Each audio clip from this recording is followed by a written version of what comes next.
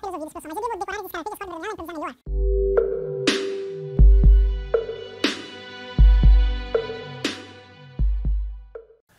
É, para você improvisar, para você usar aquela escala para improvisação, você não, não, é, não pode mais pensar em nada, entendeu?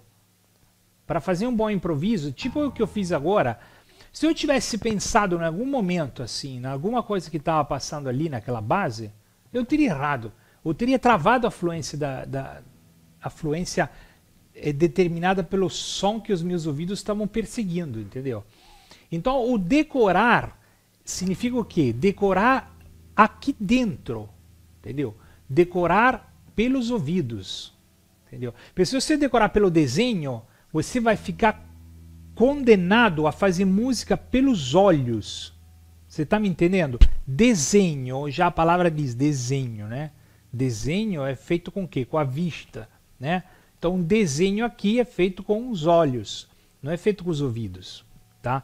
Em música não tem isso. O desenho tem que ser o primeiro approach, né? O primeiro, você chega pela primeira vez no negócio para facilitar, né? Teoricamente não teria de desenho nenhum, sabe? A, a música tinha que ser tra, é, transmitida pelo som. Se, pela regra, assim, né?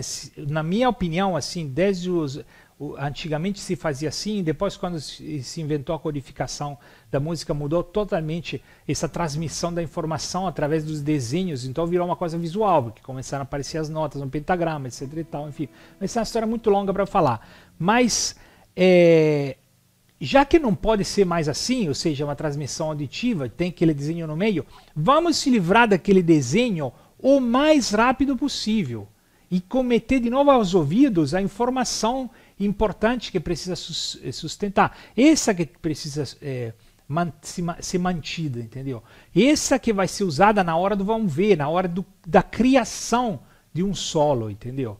De uma improvisação, que nada mais é do que uma composição feita extemporaneamente, entendeu?